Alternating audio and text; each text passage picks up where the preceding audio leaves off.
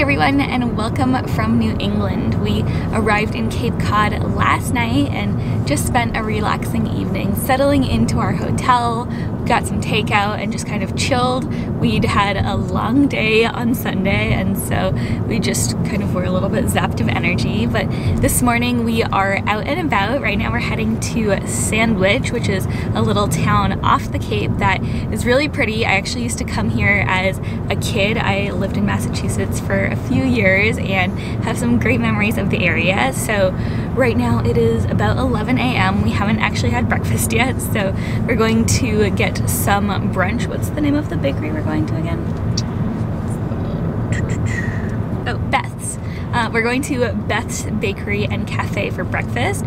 I got a recommendation from a friend that it's really tasty, so going to give that a try and then just spend a casual, relaxing day exploring Sandwich and we'll see what we get up to. Also, I'm joined by Christopher on the trip. Hey everyone.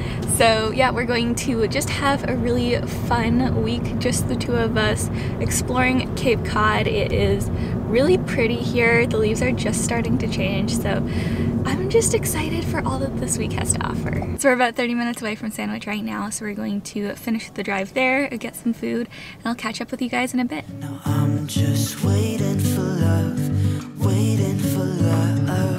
Try to forget about you makes me restless. Waiting for love, waiting for love. I don't know what else I can do, it's hopeless to.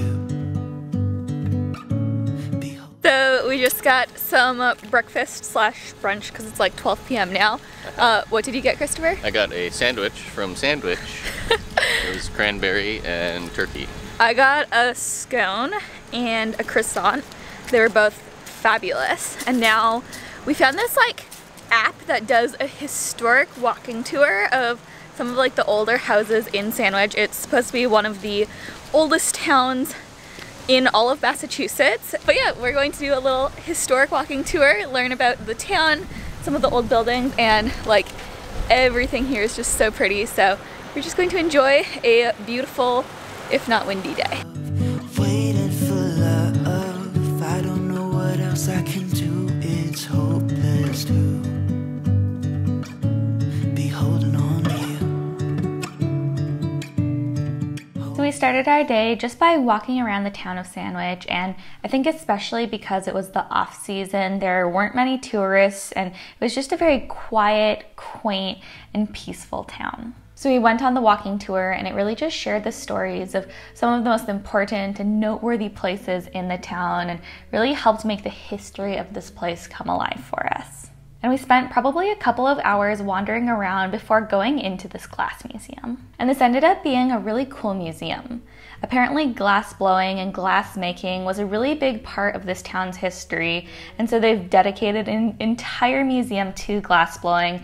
They had a really cool glass blowing demonstration and lots of cool exhibits, all made from glass. And then after we visited the museum, we decided to explore the coastline along Sandwich. Cape Cod is really known for its beaches and coasts, so we just spent some time walking along it.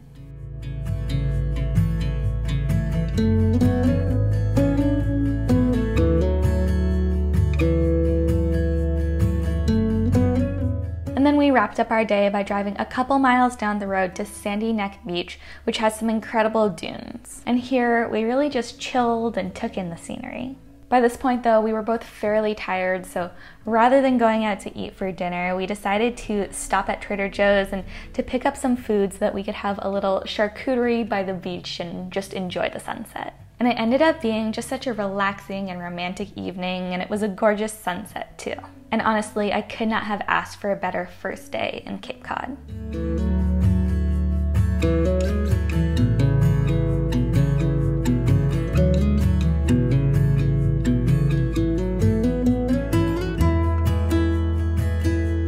So it is now the next day, and our big excursion of the day is that we're going to go whale watching. So we booked our tickets last night with, I think it's called Hyannis Whale Watching Cruises, something like that. And yeah, we just arrived at the marina.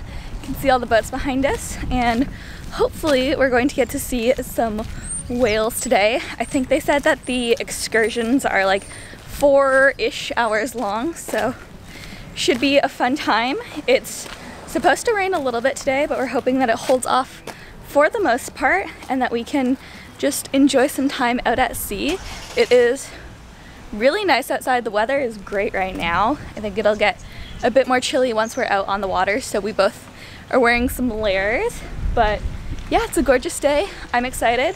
Christopher, have you ever seen a whale before? Uh, no, I've seen a killer whale before. I've seen, I've been whale watching once before, but it was like 10 years ago.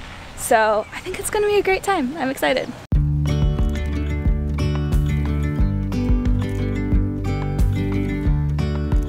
And our whale watching tour began with about an hour long cruise along the coast of Cape Cod so we could get out to sea where the whales typically feed. And during the trip, it was raining on and off pretty much the entire time, but fortunately, once we actually found the whales, the weather cleared up a lot and we were really able just to enjoy the moment.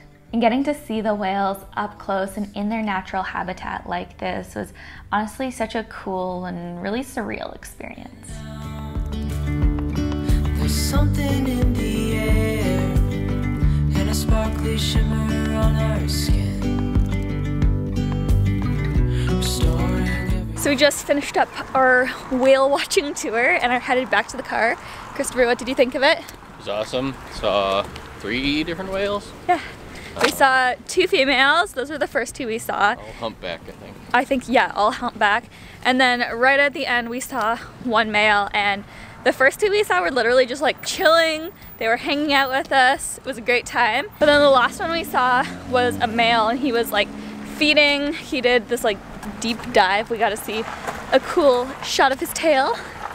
Yeah, it was really cool. Okay, so like five cars just drove past, so we paused for a second, made it back to the car, but it was really cool. We saw three different whales, and uh, the first two we saw were literally just like hanging out. They were kind of enjoying the surface of the water. It was raining a little bit on and off throughout the trip, but overall, we got some really good weather.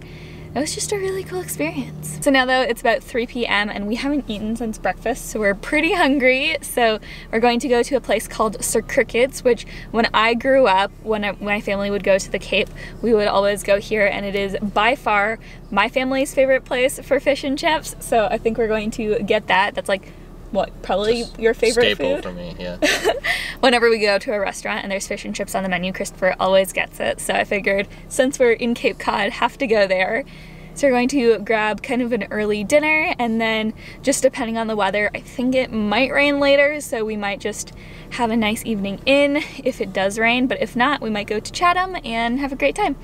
So we're going to head off now and we'll see what we get up to.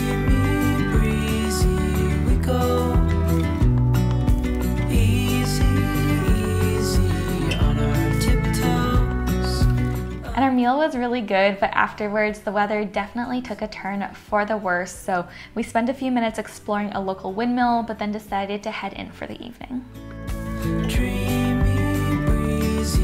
Okay, it is now Wednesday morning and we woke up to just an absolutely beautiful day. It's like 75 degrees and partly cloudy. Couldn't ask for better weather. Today we're going to be spending the day in Provincetown. So right now we are on the Dune Shacks Trail, which is this really cool trail just outside of the town that takes you through these really cool sand dunes. Christopher, have you ever have you ever seen anything like this before? No, maybe out west a little bit, but nothing really like cool. sand. Yeah. So we're going to spend some time hiking this trail. We just started it. I think it's like a mile and a half long, so not too bad. And apparently there's some really cool like shacks and things like that along this trail. And then after we finish this up, we're going to spend some time exploring Provincetown, going to the Pilgrim Museum and Monument later. And yeah, it's gonna be a good day. Call us crazy, but things are fine. And this hike definitely ended up being a highlight of the trip for us. Not only was the hike itself absolutely stunning, but when we finally got to the ocean, there was like nobody on the beach, and so we felt like we had the whole place to ourselves.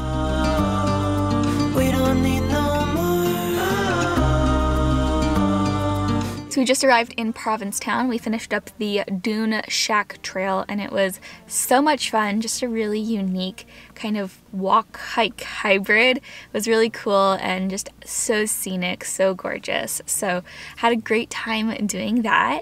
Now our plan is to uh, grab some lunch at the canteen, which is a place in Provincetown that I'd heard really good things about. So we're going to eat there and then just spend some time exploring Provincetown.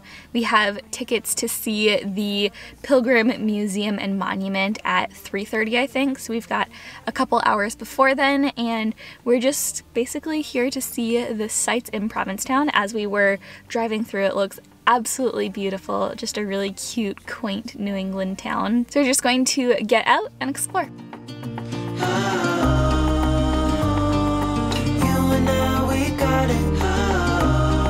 We started off our time in Provincetown just by walking down the main street section before getting lunch at the canteen. And it was a really cool restaurant concept. All of their seating was outdoors overlooking the water. It was a really cute environment and the food was spectacular too. Once we finished up our lunch, we spent some time enjoying the ocean views and then continued exploring the town.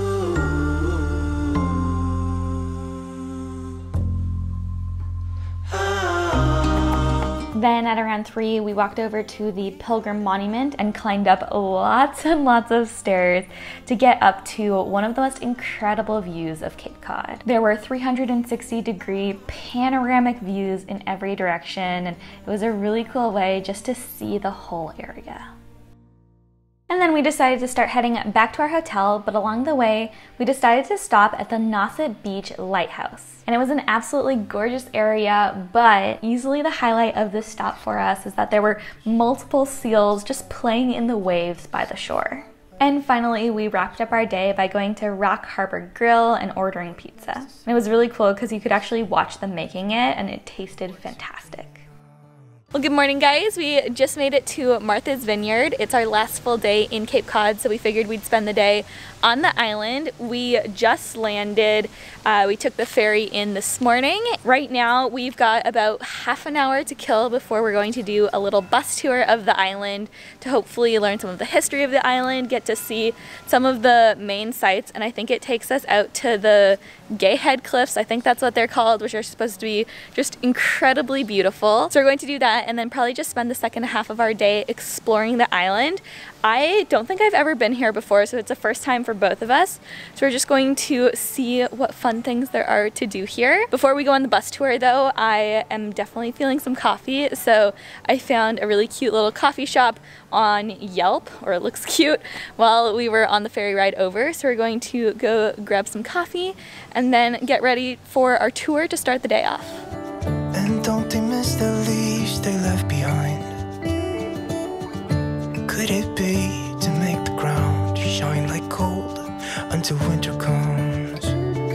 Until winter comes, until winter comes. So we made it to the cliffs. They're right behind us here. Just stopping for a few minutes to take in some beautiful views and also there's a lighthouse right over here and then I think our tour continues in a few minutes but it is just absolutely gorgeous here and yeah loving every minute.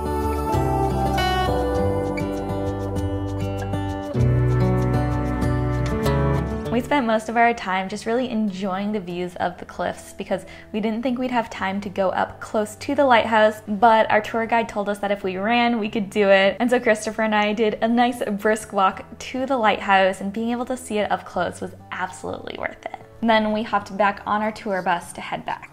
So we just wrapped up our tour. I think it was about three hours long and it was a great way just to get a nice introduction to the island. Our tour guide was saying that the island is something like 26 miles long and you definitely got the feeling that it was just absolutely massive as we were driving around. But now what we want to do is basically just explore the town that we're in as well as the nearby town of Edgartown too.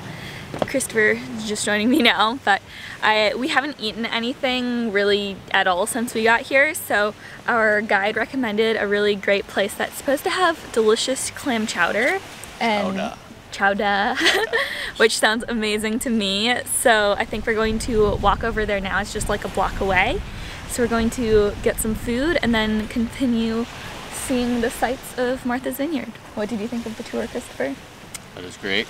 We learned a lot of history. Um, saw some really cool bluffs. Um, saw a little cool lighthouse from the movie Jaws. Yeah, You'd seen Jaws before, right? Uh, I've seen parts of it. Okay. So they filmed Jaws here.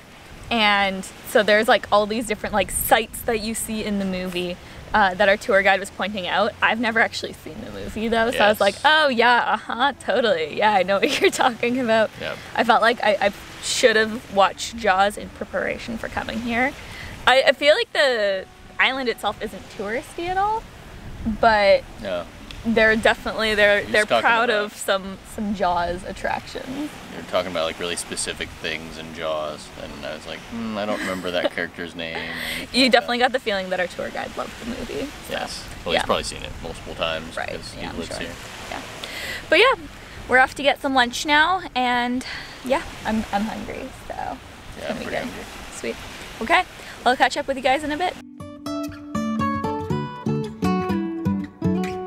And the lunch place we'd had recommended to us was called Martha's Vineyard Chowder Company. And it was really good. I love clam chowder, so I had it here, but also a handful of other times throughout the week too. Then after that, we walked just a couple blocks away to explore the gingerbread houses. It's an area with about 300 different Victorian style cottages that are all so cute, cozy, and colorful. And so we just spent a couple hours walking around and exploring the houses.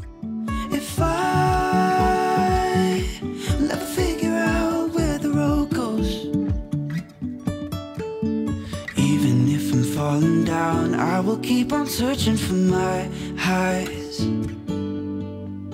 So we just finished exploring the gingerbread houses, which was so cool. It literally felt like we were in a storybook. I think originally it started out as like a campground and over the years it's kind of like evolved into all of these really colorful cottages. So cool. Highly recommend if you're ever in Martha's Vineyard, you have to go visit. It literally, like Christopher and I were saying, it felt like you were in a different world. So that was a lot of fun. And now we've got a couple more hours before our ferry leaves. So I am definitely feeling like some ice cream right now. So I think we are going to walk in the direction of ice cream. And honestly, everything in this town is absolutely gorgeous. All the houses, we're just walking by, they're so, so pretty. We're going to find ourselves some ice cream and then just spend some time exploring the town with our few remaining hours. I think we're going to grab some dinner too. And then I think the sun may set before our ferry ride, so maybe we can go somewhere cool to watch the sunset too. Just going to kind of walk around and enjoy this place. I'll flip you guys around right now, but just everywhere we turn, it's the quaintest houses. They're so pretty. And just, yeah, we're loving every minute of this. And Martha's Vineyard is known for its ice cream, and after trying some, I can see why. We stopped at Ben and Bill's Chocolate Emporium and both got two scoops of ice cream. I got coffee heath and salted caramel, and it was so, so incredible. And we walked just a couple blocks away to the main square in Oak Bluffs, which is a really beautiful park with tons of amazing houses overlooking it. Then we continued wandering around and exploring.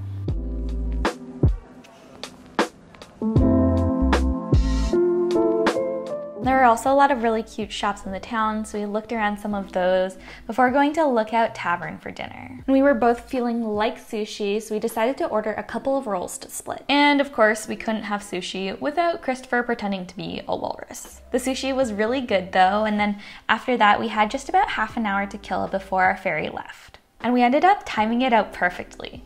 The sun was just setting, and so we went to the nearby pier and just walked around and enjoyed the absolutely beautiful sunset. With the combination of the houses, the clouds, and the colors, it really felt like a postcard.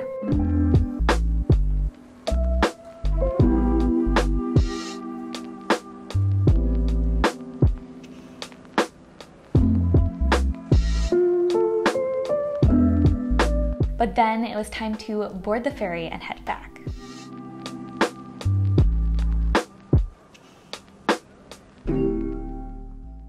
Morning, guys. It is now Friday morning, and we just checked out of our hotel, which I realized I never showed you guys the room that we were staying in. So, this morning before we left, I filmed a couple of clips to share with you guys. So, I'll put them on the screen here, but it was a really nice, kind of small, but plenty of space for just two of us. It had kind of subtle nautical theme. It was really nice and it was right outside of Sandwich, so it was just a really convenient location to get to pretty much anywhere on Cape Cod. But we just checked out and are now on our way out of Cape Cod right now.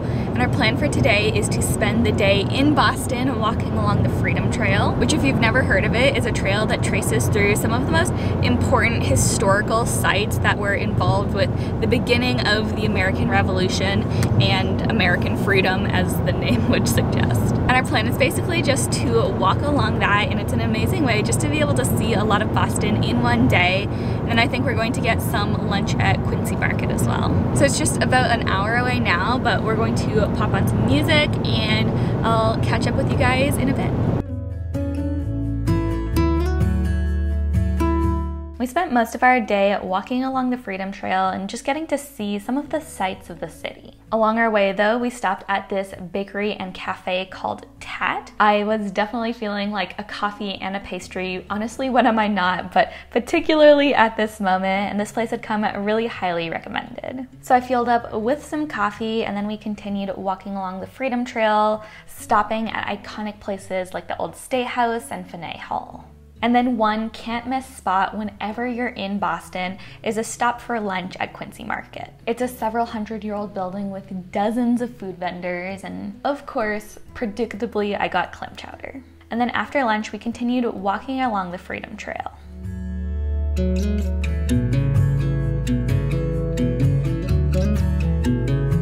We made a few more stops at places like Paul Revere's house and Old North Church before finishing up at Bunker Hill. The Freedom Trail is really one of my favorite ways just to get a taste for the city of Boston. But then on the next day, we wrapped up our time in New England with an equally iconic experience. We took a duck tour around the city, and it's a really fun, fascinating guided tour that takes you around the city on both land and sea. And it was another beautiful day, so we had a great time seeing the city from the water and just being able to learn more about its history.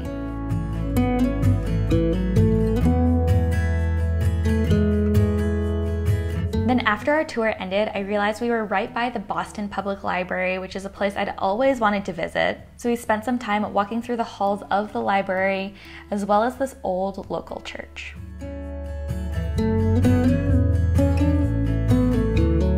Then before heading out of the city, we stopped at an amazing place called Dig for Lunch. And this little chocolate shop, which has been family owned for multiple generations.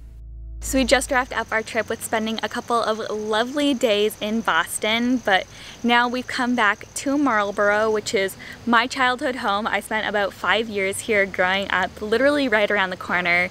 And so tonight we're going to be staying with some family friends, and then we have a super early flight tomorrow. I think we need to leave to catch our flight at 4 a.m., so it's definitely going to be an early morning. And so with that in mind, I think I'm going to end the video here, but I hope you guys enjoyed coming along with me as we explored Cape Cod and Boston together. I know Christopher and I had such a wonderful trip, and I hope you enjoyed coming along for that as well. And of course, as always, if you enjoyed this video, make sure to hit that like button, subscribe if you haven't already, and if you enjoy travel content like this, definitely subscribe because we're going to Greece really soon, and I'll be vlogging some of that as well. And then finally, make sure you're following along on Instagram too. I'll have that linked for you in the description box, but it's a great way just to follow along kind of in the moment as things happen with all of our adventures. Thank you guys all so much for watching though. I hope you have a lovely day and I'll see you in the next one.